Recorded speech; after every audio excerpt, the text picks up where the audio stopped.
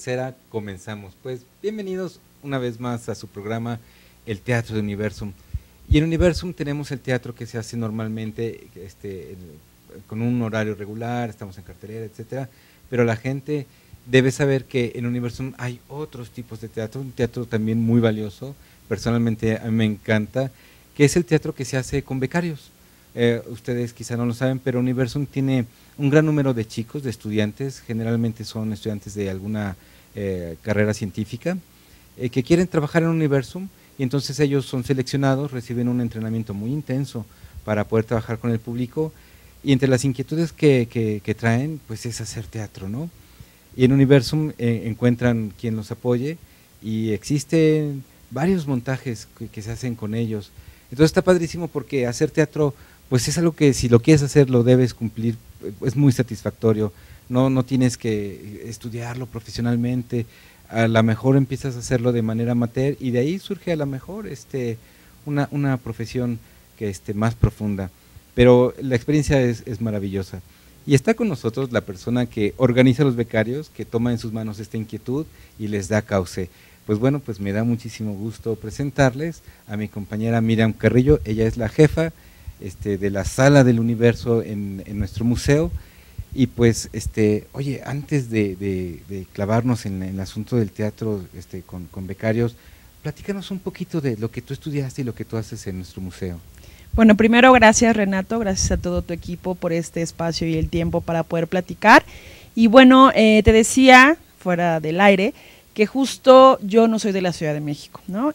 Eh, soy de la ciudad de Tlaxcala, ahí hice todo mi educación básica, kinder, primaria, secundaria, bachillerato, y después me trasladé a la Ciudad de México para poder estudiar física. ¿Pero tu familia se vino acá contigo? No, ellos siguen viviendo allá, yo soy la única que está aquí. Oye, no dijeron, pero ¿cómo? Sí, sí, como siempre, como todas las familias y como todo, ¿qué vas a estudiar? ¿Eso qué es? ¿No? Es súper difícil, ¿de qué vas a trabajar? Preguntas que son importantes y en ese momento cuando tú eres chavo, pues tú te quieres aventurar y tú quieres luchar por un sueño. Ok, tu familia te dijo, no, no te vayas, quédate con nosotros, aquí te apapachamos, pero ¿y, de dónde sale el valor? ¿Cómo fue? ¿No, hubo un momento en que dudaras? Bueno, sí, sí dudaba, pero tuve el apoyo fundamental de mi mamá. Entonces ella decía, si tú quieres, si elegiste eso, te vamos a apoyar. A pesar de todas las dudas y todo el miedo, porque de, de provincia venía a la Ciudad de México, pues es diferente, ¿no? La gente que vive aquí eh, está, está realmente pues acostumbrada, pero la gente de provincia sí siente un cambio cuando llega a la Ciudad de México. Entonces eh, tuve que hacer el examen de ingreso a la UNAM, la primera oportunidad no la pasé, hasta la segunda oportunidad había dos convocatorias como ahora en un semestre y de lleno a física. Entonces todo el mundo me decía, bueno, pues has de ser muy inteligente. Física lleva una base muy fuerte de matemáticas, entonces yo creo que eso era lo que a mí me costaba porque yo no había tenido una buena, en, obviamente el nivel en provincia es diferente educativo que en la Ciudad de México, pero me motivaba lo que yo quería ser. Iba por astrofísica, astronomía. Y tenía que pasar por física, tenía que hacer toda la carrera para poder llegar al siguiente paso. Y lo disfruté muchísimo. Aprendí, me costó. Al tercer, tercer eh, bimestre digo, perdón, semestre, yo ya estaba como pesa en el agua, ¿no? en la Facultad de Ciencias. ¿Te pasó como mucha gente que empieza a estudiar las ciencias ya muy en serio, que rebotaste? Eh, tenía una amiga, ahora ya tiene un doctorado en química, estudió en, en Inglaterra, etcétera. Pero ella dice que cuando llegó a la facultad, lo primero que hizo fue reprobar todo. Sí, yo también reprobé una, creo que al principio, y después ya la recursé ya, pero de ahí como que agarras este hilo, sabes cómo se están dando las cosas, el nivel, la forma de trabajo, las tareas, el ritmo, y todo se puede con constancia. Después de eso, a mí me interesaba mucho la astronomía, entonces me metí a estudiar cosas de destellos de rayos gamma. Hace, cuando yo lo hice, hace más de 10 años, todavía no se sabían que eran estas explosiones que ocurren en el universo. Se pensaba que era por colisiones de hoyos negros o por estrellas muy masivas que chocaban y se generaban estas explosiones en el universo que viajaban por todo el espacio-tiempo y llegaban a la Tierra. Y aquí, con unos satélites que giran alrededor de la Tierra, los podíamos detectar esa energía, porque no entran en la atmósfera. La atmósfera es como un, como una cobija que nos cubre, afortunadamente, si no estaríamos como pollos rostizados. y estos satélites captan esta, esta energía que llegan y podemos estudiar esas explosiones del universo. Ah, bueno, ahora ya hay una gama de información sobre esas explosiones, pero gracias a eso tuve la oportunidad de viajar a la NASA y hacer una estancia de investigación para obtener los datos de las cosas que yo quería estudiar. ¿Cuánto tiempo estuviste en la NASA? Casi un mes, estuve tres semanas, si no mal recuerdo, en Washington, en donde está Goddard Spy Flight Center. Y era trabajar en el, en área de, investigación, era sacar información de estos satélites, porque ya esos satélites ya no estaban en, girando alrededor de la Tierra, ya no estaban en servicio, pero se habían sacado toda la información, se habían guardado. Y entonces yo tenía que capturar y almacenar esa información en mis discos duros y traerlos de regreso a México para estudiarlos. Para analizar. Exactamente. Ok, después, ¿qué, seguiste haciendo? Después de ahí me di cuenta que no, bueno, me encantaba la investigación, pero estaba como incompleta. ¿Por qué? Porque también me gustaba compartir y me gustaba la parte de, enseñar. Y cuando fui, eh, estaba terminando mis estudios de licenciatura, entré a Universum como becaria. Así como estos chicos que tú mencionas que están en las salas, yo también fui becaria hace un tiempo y era becaria de la sala de energía, que ya no está la sala de energía en Universum, pero está, está la sala de estructura de la materia ahí también, y yo era becaria multisala porque pues había muchas cosas, y entonces podía estar en matemáticas, podía estar en física, podía estar en universo, y dependiendo de las necesidades estaba ahí. Después terminé mi periodo ahí y entré a trabajar como profesora de ciencias, y desde ahí ya no he terminado de, enseñar la ciencia, de compartir el gusto por la física.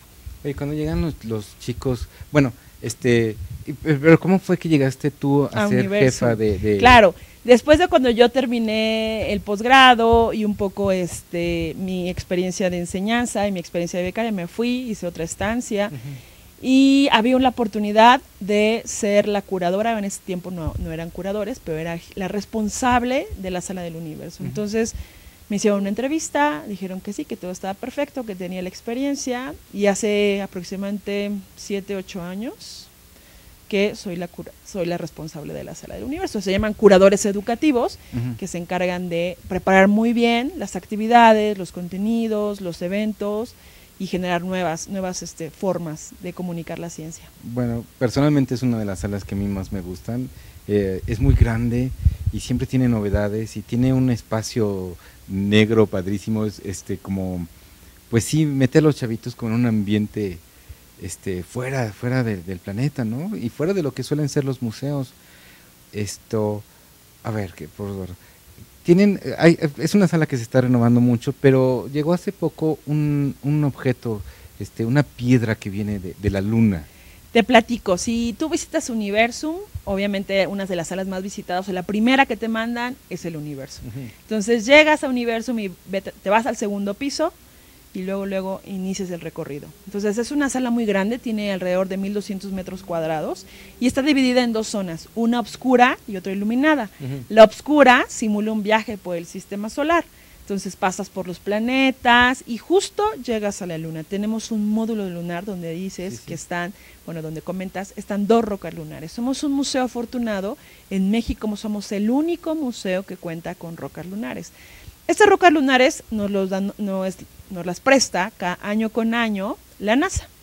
La NASA nos manda dos, una del Apolo 11 y otra del Apolo 17. El Apolo 11 fue la primera misión que llegó a la Luna y tenemos un fragmento grande que no se puede tocar, pero se puede ver y les explicamos un poco de cuánto le costó al hombre llegar a la Luna, recoger una roca lunar y regresar a la Tierra. Todo eso es invaluable.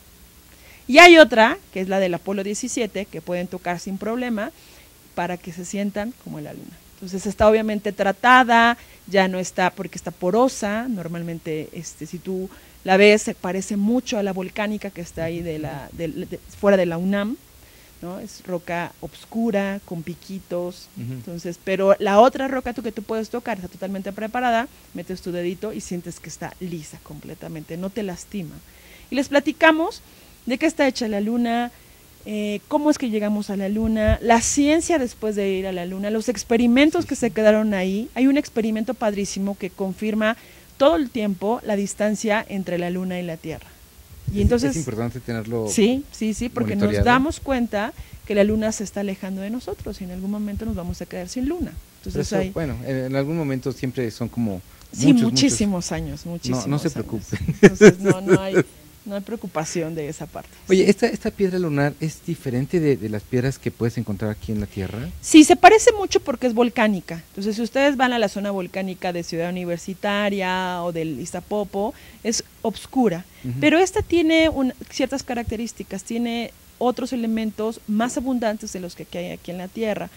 Y brilla, tiene pequeños cristales, silicatos. Entonces, si tú le pones un- una lámpara a esta roquita, va a tener unos destellos de luz porque ahí se refleja. Y por eso, bueno, una de las cosas que pasan es que en la luna dejaron otro espejo más grande, ¿sí? unos, unos paneles de silicio para comprobar esta distancia que te decía. Entonces, la luna refleja la luz del sol, Esto solo, es- solo refleja el 8%. Pues eso que vemos ahí es solamente el 8% de lo que 8%. brilla. Si Y brillara más, seguramente nos No nos dejaría lastimaría. dormir. Sí, lo, que pasa es que cuando hay luna llena, pues puedes caminar bien en la oscuridad. Sí, se ve sí, bastante. sin problema, sin problema. Oye, me hablabas de estos espejos que hay en la luna. ¿Quién los dejó? Los astronautas cuando llegaron, eh, el del Apolo 11 hicieron varios experimentos. Entre ellos el clásico dejar las cosas caer y ver que no hay fricción y entonces caen. Tú puedes dejar un martillo y una hoja de papel y caen al mismo tiempo. Y en la Tierra no, porque en la Tierra hay aire y entonces la hoja va cayendo poco a poco. Y en el espacio, se la, digo, en la Luna se la pasan padrísimo. Hicieron experimentos desde tirar una, una pelota de golf y ver que no hay fricción y a ver hasta dónde llega, saltar, eso es algo muy característico en los videos que hicieron, tomar muestras lunares, medir los sismos, porque hay sismos también en la Luna, y dejar estos paneles para poder con un rayo láser lanzarlo desde la Tierra y medir la distancia todo el tiempo. Ok. Entonces, si tú visitas la sala, esa es la primera parte de la parte de noche. Después viene la parte de día, donde están las estrellas, herramientas del astrónomo y cómo se estudia el universo. ¿no? Entonces hay zonas muy interesantes y yo no quiero contarles más, mejor nos visitan y ahí los esperamos para que toquen la roca lunar. Tocar la luna. Oye, esta piedra que vino de la luna, ¿cuánto cuesta? No puedo darte un valor. O sea, es, Es que- invaluable. Es que o si yo levanto no- una piedra en Seúl no vale nada, Sí. pero esta piedra tuvieron que mandar un cohete y, y crear esa, la tecnolo- NASA. esa tecnología ya no está. El cohete estaba era del tamaño de la Torre Latino Sí, sí. que tenemos aquí sobre eh, el Eje central. eje central. Y imagínate el tamaño del cohete de, ese- de, ese- de ese- de esa altura. Los astronautas en una, en una cabina pequeña, como de dos metros o menos, un metro, sentados ahí. La- salieron de la Tierra, ese cohete les permitió salir de la Tierra y después el módulo llegar en tres días a la Luna, empezar a orbitar alrededor de la Luna y después otra pequeña nave fue la que alunizó y llevó a dos astronautas mientras otro se quedaba dando vueltas a la Luna. ¿no? Entonces es una experiencia, yo creo que ha de ser maravillosa. ¿no? Yo nunca he ido a la Luna, entonces no sé. Entonces tocar este este pedacito de, de piedra pues es wow. Sí, sientes, sientes, te emociona to- A mí sí me emociona y bueno, me emociona más que esté en mi sala. ¿no? Y, y la gente va y, y- y hay- además eh, Sí. no está nada más ahí puesta, sino que hay toda una estructura. Claro, es el módulo lunar. Entonces les explicamos la luna, de qué está hecha, la exploración espacial, qué pasa con el cuerpo humano en el espacio, si hay vida fuera de la Tierra, un poquito más. No solamente es tocar la luna, es la experiencia de la exploración espacial. Sí. Oye, tú que tú que fuiste este becaria en Universum y ahora este tienes a tu cargo esta sala tan importante, ¿qué es lo que quieren saber los niños? Yo creo, bueno, les encanta el cielo, les encanta las estrellas, les encanta la luna, les encanta este los colores que pueden ver, ¿no? El día y la noche, obviamente, los eclipses, la luna llena, todo lo que es muy visual. Y es un tema muy bonito porque no lo puedes tocar. Es una cosa que no puedes tocar, solamente puedes observar. Bueno, llega eh, llega el, el- el curador, llega este el becario y te lo dice, pero no no no es algo que tú crees porque tienes que creerlo, no es un dogma, ¿no? Finalmente es algo que sí se puede comprobar. Claro, claro que sí. No. De hecho, los niños cuando llegan, llegan con mucha información previa, ya lo han vivido con sus Ajá. sentidos en la vida cotidiana o cuando viajan. Y cuando llegan al museo es una forma de comprobarlo y generarles nuevas dudas para que cuando salgan, pues otra vez empiecen a buscar o regresen al museo. Sí, es que es que Universum es una, una maquinita que va sembrando semillitas en, la- en la- en las mentes de los niños. ¿Quién sabe cuántos más astrofísicos haya? bendito sea este, este, este museo. Oye, este, pues la gente está, está escribiéndonos y quieren saber, esta es una pregunta muy interesante, ¿cuál es tu opinión acerca de la teoría de que el hombre no llegó a la luna? ¿Te lo preguntan mucho? Sí, cuando hacemos, cada febrero, marzo, febrero, hacemos una semana de la luna en Universo. Entonces, para la gente interesada, siempre busquen en febrero, hay semana en la luna. Y entonces ahí se pueden convertir en astronautas porque les damos un entrenamiento. ¿Por, qué en febrero? Porque son mejores, en los mejores cielos para observar. Por ejemplo, de abril, después de abril empieza a ser lluvioso, brumoso, en junio, julio, todas las lluvias, septiembre, y ahorita octubre está genial, está como días a veces con lluvia, a veces despejado, pero está perfecto. En noviembre, noviembre, diciembre, enero y febrero son los mejores meses para observar el cielo. Ok, entonces en febrero la semana de la luna. La semana de la luna. Y entonces hacemos la semana de la luna de acuerdo a las fases de la luna para tener una noche de observación de la luna. Y siempre es esa pregunta, o si yo creo que el hombre llegó a la luna. Lo único que yo les puedo decir es que gracias a que el hombre llegó a la luna, ustedes tienen internet, televisión, comunicación, teléfonos, velcro, pañales, comida de, comida de bebés, eh, ¿qué más? gafas, lentes de sol, em, cierre, todas las aplicaciones que tenemos en la Tierra primero se usaron en el espacio. y si no hubiera sido por eso... Se creó mucha tecnología. Exactamente. Si no hubiera sido por eso, nosotros no, no podríamos gozar de eso. Y una de las muestras de que el hombre llegó a la luna es esta roca lunar. En Estados Unidos obviamente hay muchos museos el, donde están todos los, todos los trajes espaciales de todas las misiones.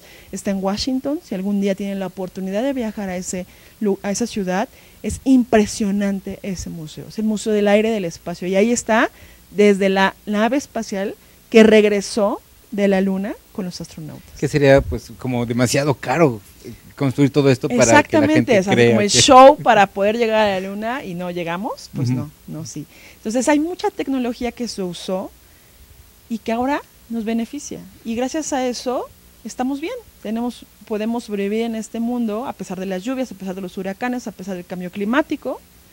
Pero yo creo que esa pregunta es más de reflexión. De gracias, a, gracias a que el hombre fue a la luna, yo puedo disfrutar de esto. No, qué padre. Oye, además se dejaron cosas allá que ni modo que las aventaran. Ah, y eso es muy interesante. Hay una misión que se llama misión de bueno, se llama Luna Reconar Orbiter, es un orbitador de reconocimiento lunar. Es una navecita que está girando alrededor de la luna y toma fotografías. Bueno, si ustedes se meten a la página de esa misión, puedes ver las fotografías de las cosas que se dejaron allá. Están los rovers, los robots, los el transporte, las naves que se quedaron ahí, todas las cosas, las incluso las pisadas, algunas marcas que se quedaron ahí. Como no hay viento. no hay viento, obviamente están ahí. Entonces, si tienen alguna duda, se pueden meter a esta página, buscan Orbitador de Reconocimiento Lunar o LRO de la NASA y ahí hay imágenes que están mandando todo el tiempo y ahí están las fotografías. Qué padre. Nos, otro, otro chico pregunta eh, que por qué una piedra se puede tocar y otra no. Ah, perfecto. La del Apolo 11 no está preparada, entonces está como en bruto. Entonces te puede lastimar. Y es una de las más importantes, es la del Apolo 11. Y el Apolo 17 es una misión muy bonita, porque fue una misión de la fraternidad. Y esa misión cuando regresó, la compartieron en muchas ciudades del mundo. Entonces, todos los museos que tienen roca lunar son los del Apolo 17. Qué padre. Sí. Nos, une ese, ese objeto. Este, otro chico quiere saber por qué ya no se han hecho viajes a la luna. Viajes a la Luna. Te decía que ya no tenemos la tecnología de hace 50 años, ya no, podemos, ya no tenemos estos cohetes, pero ahora tenemos otra tecnología. Tenemos una estación espacial internacional. Entonces estamos, se están mandando hombres a esta estación, se están entrenando, se están haciendo nuevos avances, porque el siguiente paso no es la Luna, es Marte. Porque la luna es que como la luna es una parte, la, la, luna es un, como un desierto, ¿no? Entonces va a ser nuestra parada para tomar combustible, agua y llegar a Marte. Entonces, no es que no hayamos regresado, te sale más barato lanzar un satélite que un tres hombres para que recojan rocas. Y ya, trajeron muchas además. Exactamente, ya y tienes más información con un satélite que con una misión humana. Por ejemplo, te doy la mitad de la película de Gravity, lo que costó, sí, sí, sí. es el costo de un satélite. Ajá, ajá, mucho más barato. Mucho más barato que, las, que mandar hombres. Ajá. Entonces, yo creo que si queremos ahorrar o queremos hacer una mejor inversión de exploración espacial, es mejor mandar misiones que hagan un mejor estudio de la Luna, tenemos más información y después ya mejor vamos al siguiente paso, Marte. Muy bien. Bueno, esto, tú empezaste como, como becario en, en, Universum, tuviste el entrenamiento de, que tienen los becarios, llegas a, ser jefe de sala, esto, ¿y cómo es que, tú recibes a tus chicos y, y decides hacer teatro con ellos? El teatro ha sido fascinante porque es un medio de comunicar emociones. Entonces, para mí es una experiencia, yo no soy, yo no estudié teatro, la verdad, me encanta el teatro, cuando puedo, en lugar del cine voy al teatro, no valoro el trabajo de la gente que está atrás, desde la iluminación hasta el que eh, pone una cosita a la escenografía y hasta el extra. Entonces, todo es una historia genial porque yo creo que el comunicar emociones es un trabajo difícil. Y en el 2009 fue el Año Internacional de la Astronomía. Nosotros queríamos generar actividades para el público, diferentes. Y ahí nació la idea de los becarios de hacer un teatro. ¿Fue de ellos? Fue de ellos porque nuestro público, nos visitan muchas personas, mucho tipo de personas, pero nos visitaban gente pequeña, kinder, 3, 4 años, 5, y a veces el nivel de la sala no era el adecuado. Entonces empezaron a usar marionetas, cosas para explicar y ahí nos dimos cuenta que era necesario tener otro tipo de actividades. Entonces ellos desarrollaron este proyecto, yo los apoyé y desarrollamos la primera obra que se llamaba El mito de Andrómeda. Y con un teatrito guiñol y con eh, muñequitos explicábamos la historia de las constelaciones. ¿Por qué vemos constelaciones en el cielo? Y ahí cuenta la historia de un héroe, como siempre, una princesa, lo rescata, y son historias que contamos con las constelaciones. Es monstruo. Exacto. Y fue padrísimo porque los chicos se dieron cuenta que los, los becarios que podían transmitir estas emociones, que era como jugar, como cuando jugaban con sus muñecos, cuando eran pequeños, simular un papel, realmente ponerse en esa, en esa situación, pero lo más padre de todo es que ellos eran personas tímidas y estar atrás de un escenario en un teatrino y solamente poner sus manos, para ellos era genial. Porque escuchar las emociones de los niños y ver, sí, se metían ahí a la obra y terminan odiando a una un personaje malo o este, diciendo, wow, yo quiero ser como el héroe que sale ahí. Eso cuando se sienten identificados, transmitimos el mensaje. Personalmente me gustan mucho los títeres porque puedes crear mundos y, aparecer cosas muy grandes, a lo mejor que eh, hacerlo escénicamente para una obra de, humanos eh, pues es muy caro, pero en, teatro de Guiñol tienes muchos recursos a tu, a tu alcance. Oye, ¿los títeres de dónde salieron? Todo fue trabajo con los chicos. Fue manual, yo también me puse a coser. Fue este, este material que se llama mm, de tela, que no recuerdo ahorita, y con materiales de reciclaje entonces, no teníamos todo el presupuesto, pero teníamos las ganas y queríamos comunicar astronomía para gente pequeña. Y fue a partir de las historias. Entonces compramos fieltro de diferentes colores, unimos con hilo, nos tardamos ahí noches dándoles efecto, dándoles efecto a los muñequitos.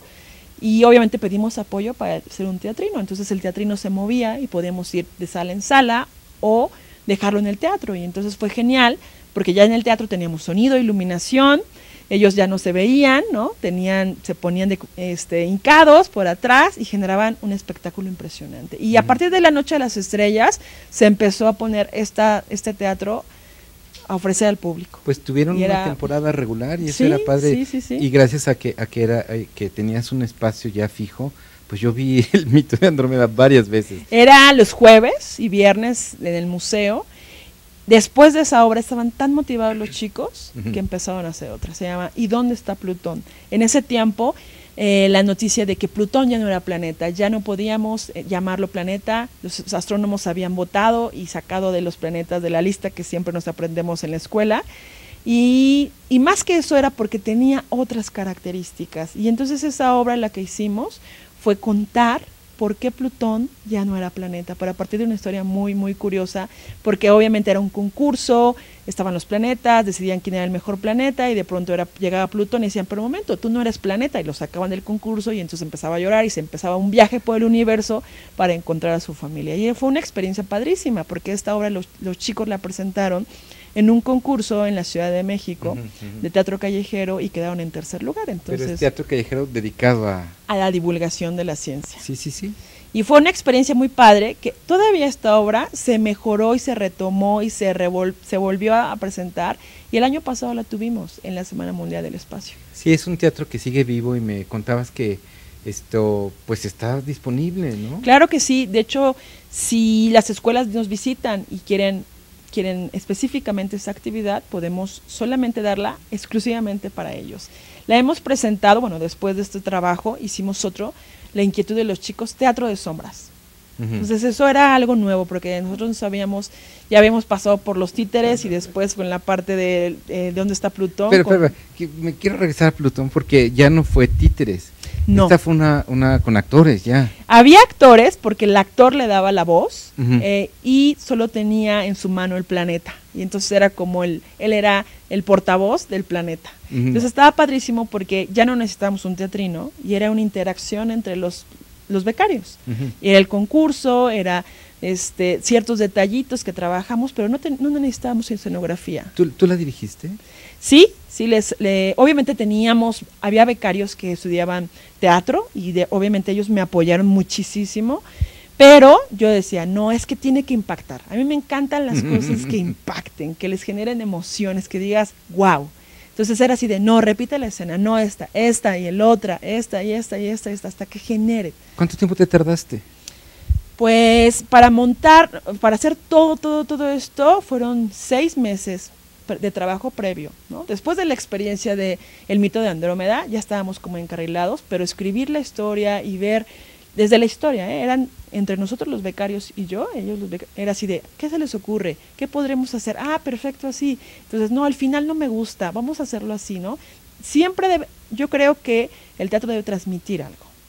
Y para, en nuestro caso, como es teatro de divulgación de la ciencia, la idea era transmitir el conocimiento científico de una manera diferente, generando las emociones que te digo. Y yo quería generar casi como lo que te puedo decir, un orgasmo mental cuando vieran esta obra. A mí me gustó mucho. ¿no? Entonces está súper divertida, la hicimos larga y trabajar en la música, en los efectos, en los detalles de los personajes, después para hacerla bien, fue Ujú. trabajar un año. Sí, sí, fue. Tranquilamente, sí, Sí. era un montaje muy bonito. También lo vi varias veces. Esto, bueno, fueron al, al concurso y llegaron ustedes con grandes noticias, ¿no? Y- Sí, fue tercer lugar, bien. los chicos, obviamente había otras, este, otros grupos muy interesantes de ciencia, todos estaban muy bien trabajados, pero nosotros teníamos ese toque, ¿no? Esa parte de la chispa, esa parte de la ciencia, parte de la astronomía, y bueno, quedamos en tercer lugar. Es un gran, bien. un gran trabajo de los chicos. Ahora sí, cuéntame, ya, ya vas como, como creando una, una compañía reuniendo mucho conocimiento acerca de, de teatro de divulgación y qué vino después. Después de eso, ya que teníamos el guiñol y un poco de otros personajes, un poco más formales, vino una inquietud, teatro de sombras. No, para no, es que a veces es bien difícil hacer el teatro con los chicos porque los chicos solo están un año o dos años máximo Sí. y se van. Entonces es trabajar con nuevos chicos otra vez, seis cada seis meses, que les interese, y trabajar y trabajar para que después de seis meses se vayan. Entonces Se son obras que a veces sí. no se dan porque no están todos los personajes y no nos gusta casarnos con uno.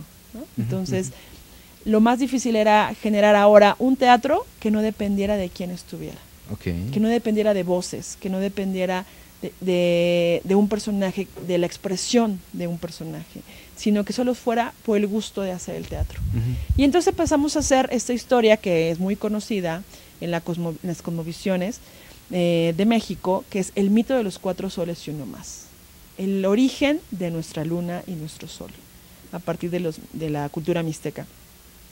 Y ahí trabajamos, fue en papel y color y la la- el trapo blanco y la luz, la tela blanca y la luz.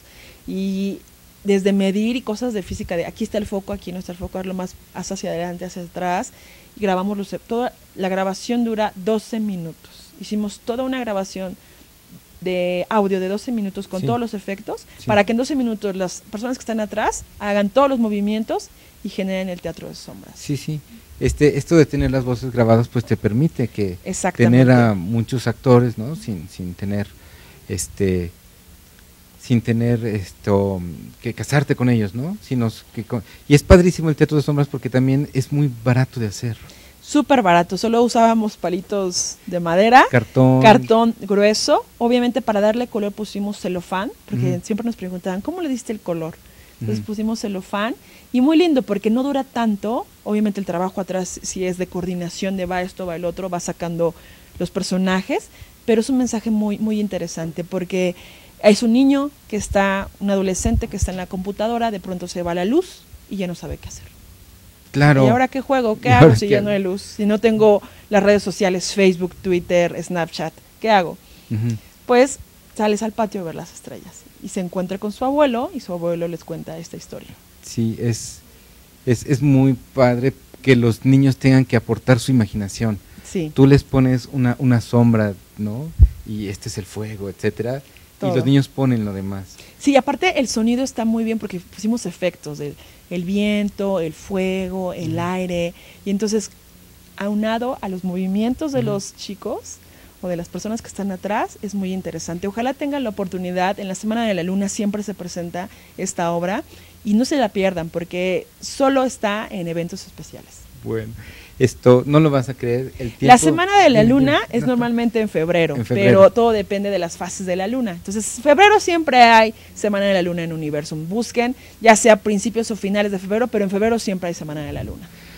Si ustedes tienen niños con inquietudes de, de hacia los- la, la ciencia, en Universum es como un- es un paraíso. Se nos está empezando a acabar el tiempo. No lo vas a creer. Hemos platicado muy a gusto. Esto quisiera dividir el tiempo que nos resta, unos minutitos, en ¿qué, qué le dirías a un maestro que tiene niños y a lo mejor el maestro quiere hacer teatro con ellos? Pues yo creo que no le, que los motive, ¿no? Que les ponga este reto, que les genere una inquietud y que a veces los chicos nos sorprenden. Uno piensa que bueno, es no va bien en calificaciones, es apático y no sabes que el teatro puede ser un medio para enseñar ciencia. Está muy bien. Y eh, cuéntanos en, en el pedacito de tiempo que nos queda de las, de las cosas que Universum está haciendo para su público. Bueno, la sala de Universo hace muchas actividades. Entonces, eh, tenemos eh, esta semana, del 4 al 9, la Semana Mundial del Espacio. Y tenemos muchísimas actividades. Del 4 al muchi- 9 de... Octubre. O sea, ya. Ya, ya. Estamos a, a la mitad de la semana Ajá. y hay muchísimas actividades. Por ejemplo, mañana tenemos una fiesta espacial. Te disfrazas, o no, si quieres no te disfrazas. De planeta. de planeta, de meteorito, de Star Wars o de Star Trek, del personaje que te guste. Y la Está sala del bien. universo solo está abierta para ti, con música, sorpresas, concursos, snacks y una diversión de unas tres horas. Oye, si, si la gente quiere...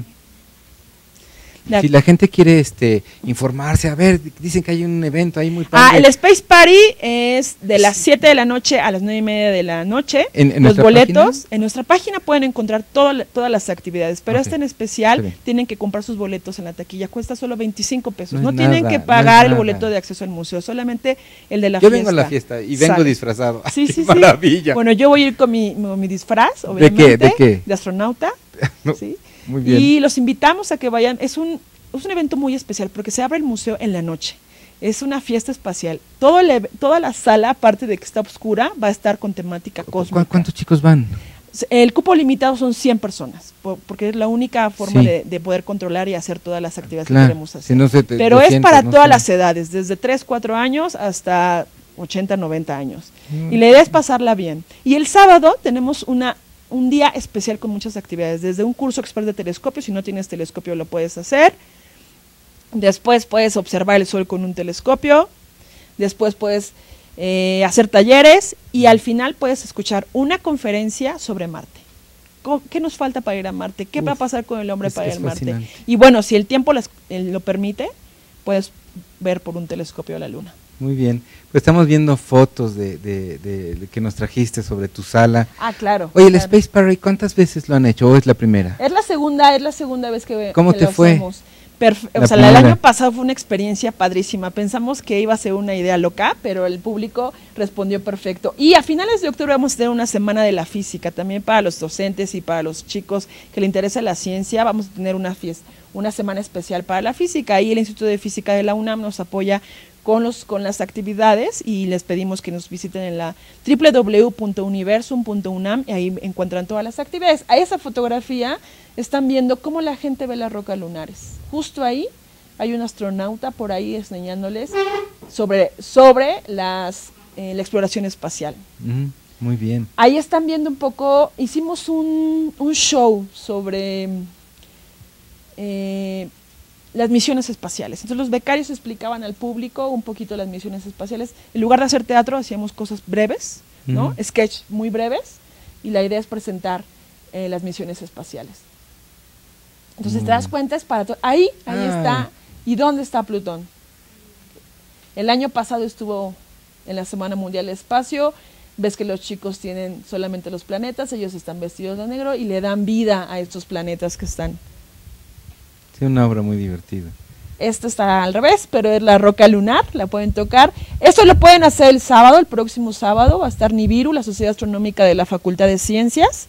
Nos va a apoyar con los telescopios y vamos a poder observar a la luna porque es la Noche Internacional de Observación Lunar. Así que todo el mundo va a estar enfocando sus telescopios para la luna. Esta es una iniciativa de la NASA. Vamos a tener una conferencia, en este caso va a estar el doctor Carlos Alicrup, él es médico de astronautas, piloto, y estudió en la UNAM, nos va a platicar qué le falta o qué le hace falta al hombre para llegar a Marte.